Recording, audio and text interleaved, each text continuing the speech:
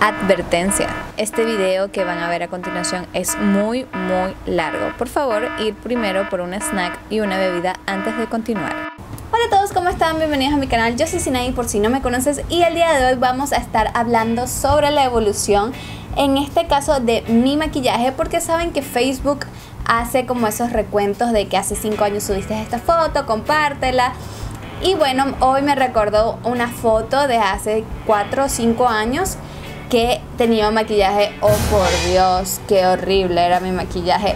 Y aparte para burlarme un poco de mí misma, ver cómo ha sido mi cambio, no solo físicamente de mi cabello y de todo esto, sino de mi estilo de maquillaje.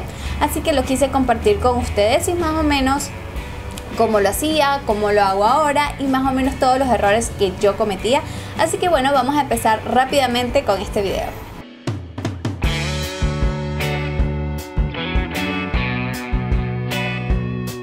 Y bueno, vamos a empezar del lado izquierdo. Voy a estar haciendo el maquillaje que yo solía hacer antes y el lado derecho el maquillaje que hago ahora.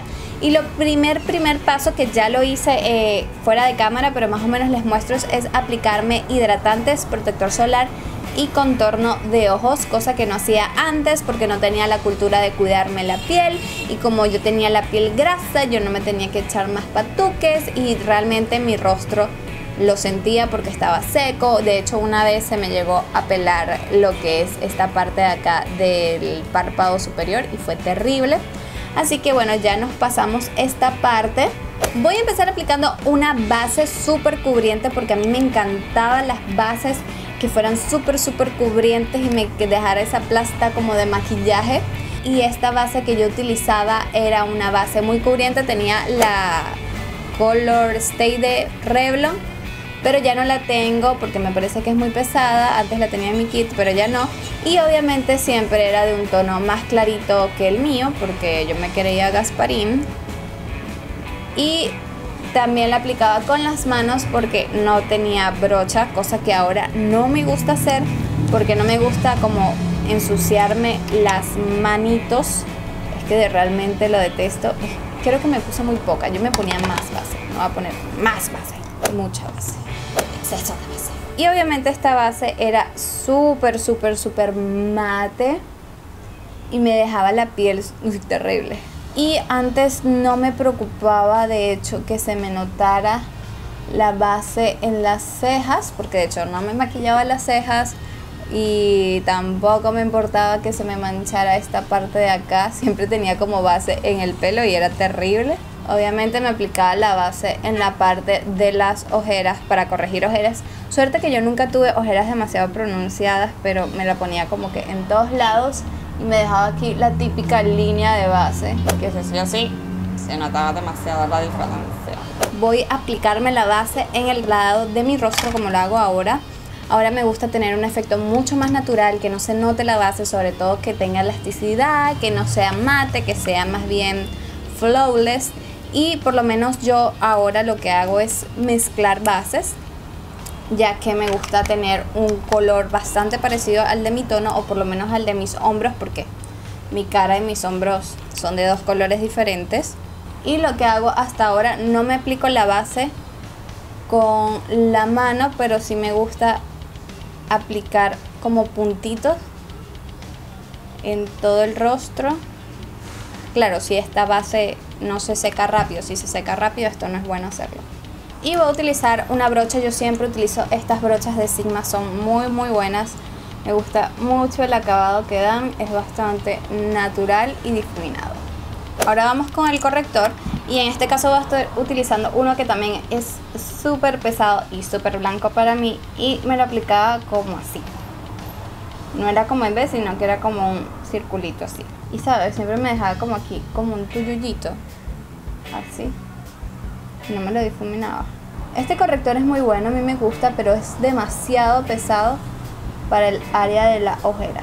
De este lado también voy a estar aplicando un poquito de corrector líquido y realmente yo no soy de aplicarme mucho corrector, o sea, esto de la B de Kim Kardashian realmente, por lo menos en mi día cotidiano, no lo sigo, o sea, no lo hago sino que me concentro nada más en la ojera y eso sí me gusta llevarlo como un poquito por acá que tengo esto como muy chiquito y me gusta como iluminar. De aquí ya pasaríamos al polvo compacto. En este caso yo utilizaba como una borla de la que traía la brocha, pero realmente como no la tengo. Y no me daba ese toquecito, sino que me arrastraba así. En esta parte de abajo me acuerdo que me hacía así. Esto, esto, esto te duele. Ahora lo que hago es que no utilizo polvos compactos, solo cuando estoy en la calle. Utilizo polvos sueltos, que acá están.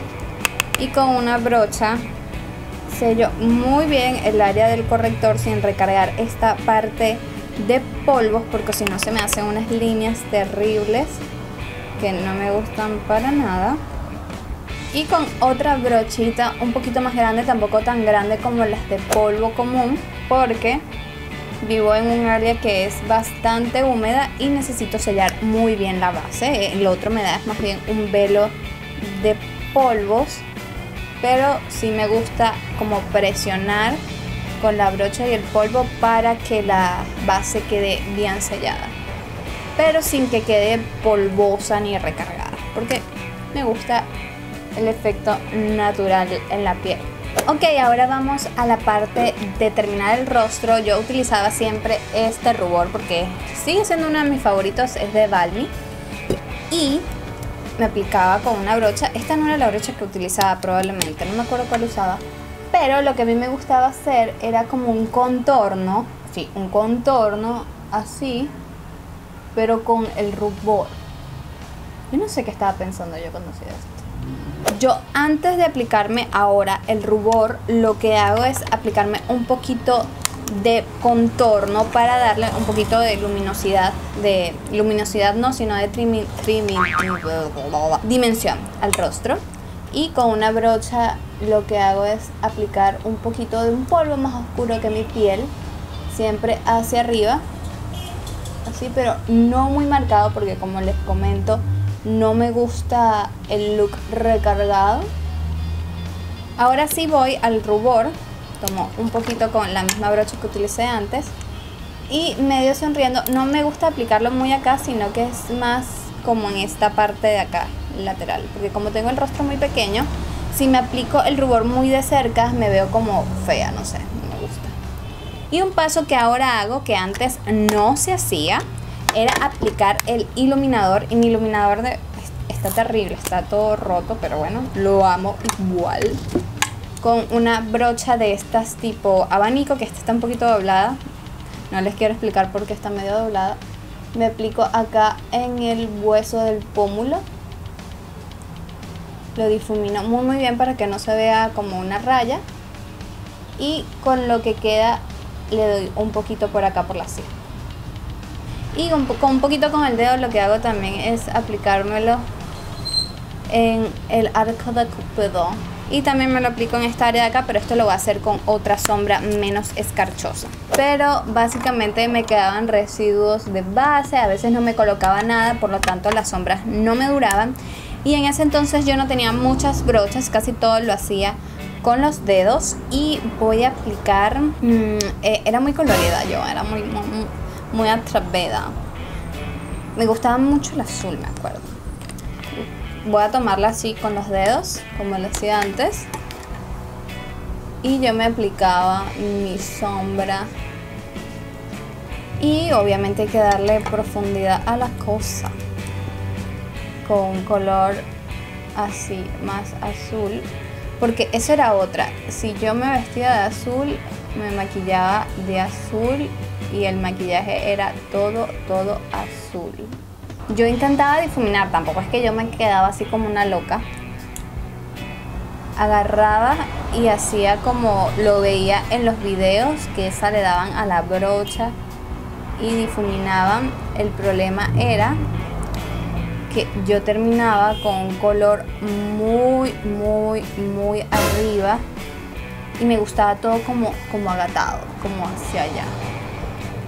De hecho, usaba como una cinta, me acuerdo. Ay, me hubiera puesto cinta. Bueno, en fin, creo que es demasiado ahorita. Ahora voy a iluminar lo que es el arco de la ceja que a mí me gustaba mucho iluminarlo porque obviamente me lo comía técnicamente con las sombras y yo lo que hacía era agarrar el color más blanco que yo encontrara entre mis sombras y me lo ponía en cantidades industriales. Bueno, yo empiezo siempre por la cuenca y empiezo con una sombra de transición para difuminarla. Y lo que hago es aplicármelo en la cuenca del ojo.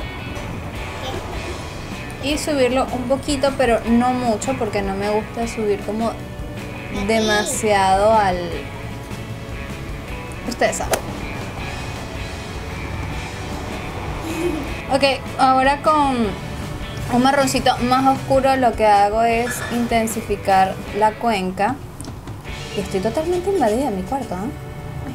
Tengo un monstruo por aquí y tengo otro monstruo por acá, ¿ves? Pero este monstruo sí te ayuda. Ella se gana su, su chuchería del día. Es bastante sencillo, o sea, tampoco es muy recargado ni nada. Y ahora lo que hago es aplicar un poquito de sombra ¿Te puedo brillosita. ayudar? Ok, vamos a hacer algo, Angelina. Mira esta sombra. Así. Esa piel. Ajá. Y me la vas a echar acá entonces. ¿Ya? Acá. Aquí. Esto va a ser terrible. Sí, sí, va a ser terrible.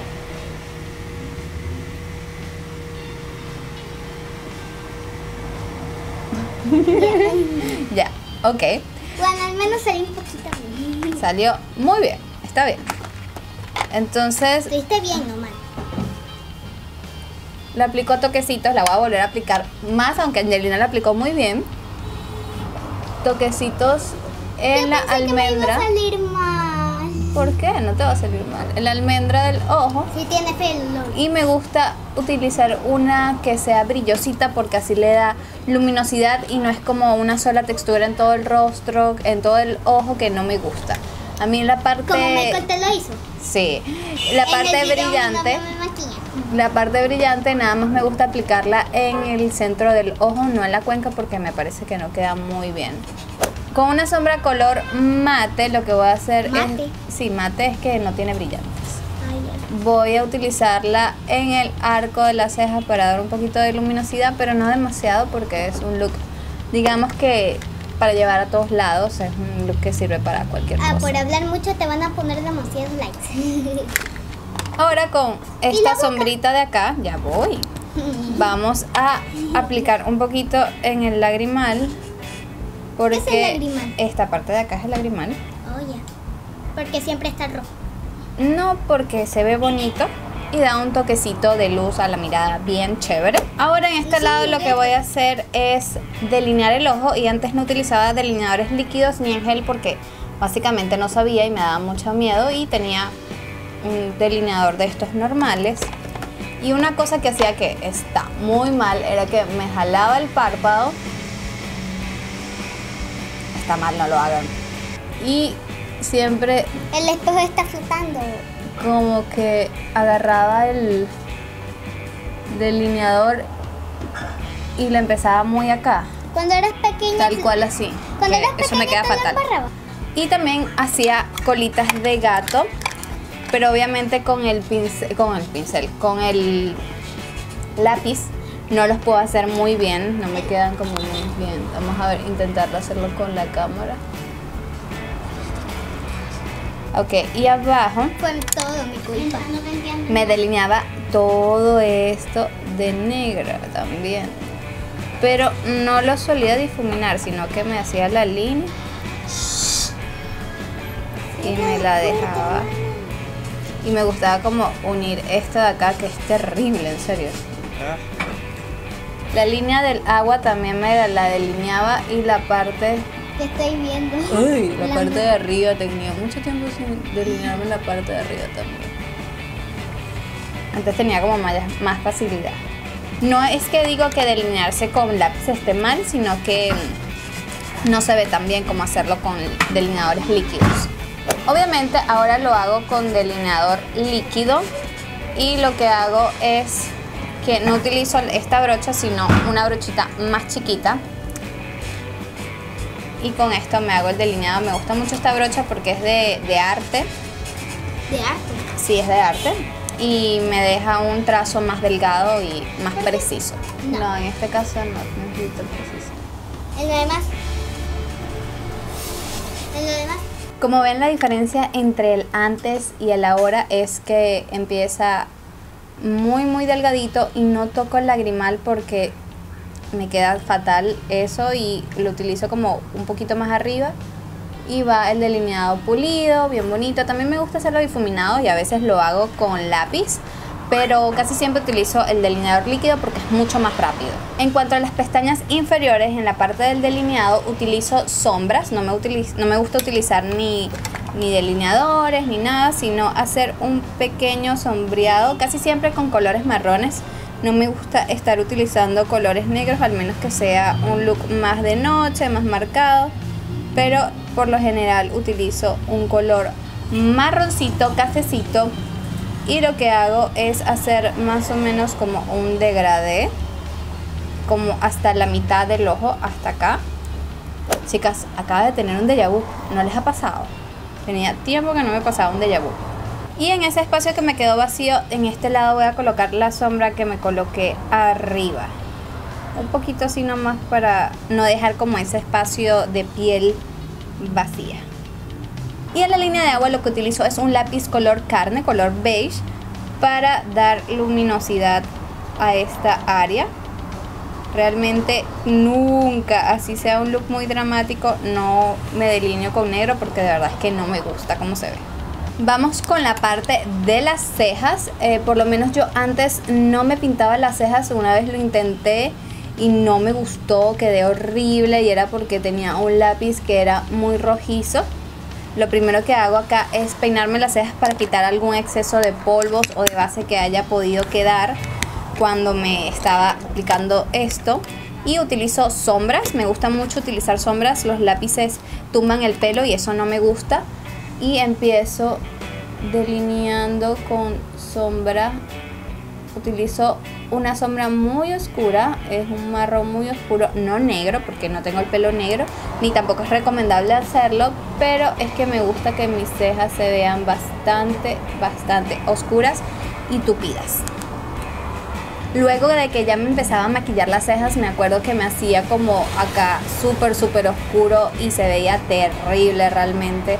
Ya luego empecé y entendí que tenía que difuminar bien el inicio de la ceja para que no se vea tan fuerte. Ahora en la parte de las pestañas, obviamente al principio yo no utilizaba rizador de pestañas, pero cuando lo descubrí lo que hacía era que lo dejaba súper súper marcado y me ponía las pestañas como en L, sino que parecía así, era como tal cual una L, no había una curvatura.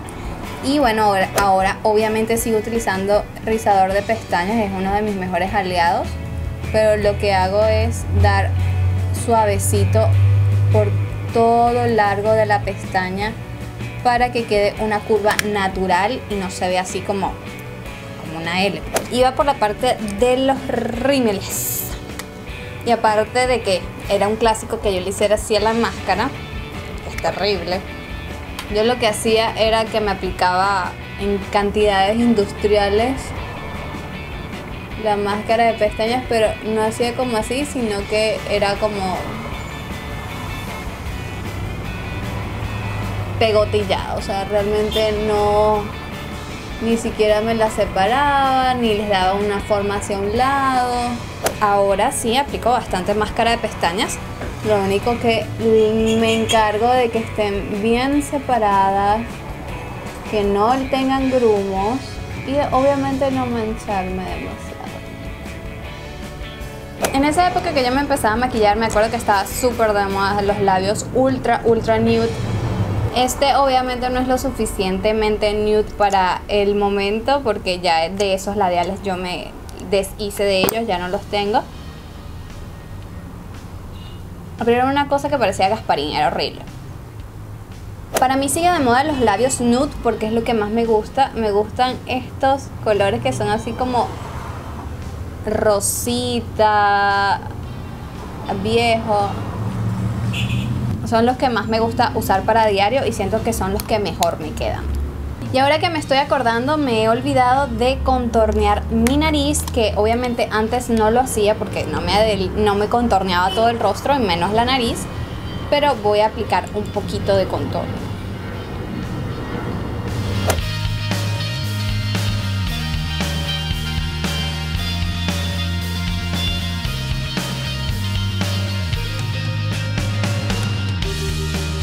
Chicos, este fue todo el video, espero que les gustara, que se entretuvieran un rato viendo cómo yo me maquillaba antes, cómo lo hago ahora, mi evolución, todos evolucionamos, todos cometemos errores y lo podemos ir cambiando. Quiero que me comentes acá abajo qué errores cometías tú o cómo te maquillabas tú antes, me puedes también mandar una foto por Facebook o por Instagram. Y también me gustaría saber si quieren un video de errores de maquillaje porque yo cometí errores, pero hay más errores por ahí en la calle. Yo te mando un beso mm, enorme y nos vemos próxima- próximamente en un próximo video. Me están llamando por teléfono y eso es muy raro. Chao.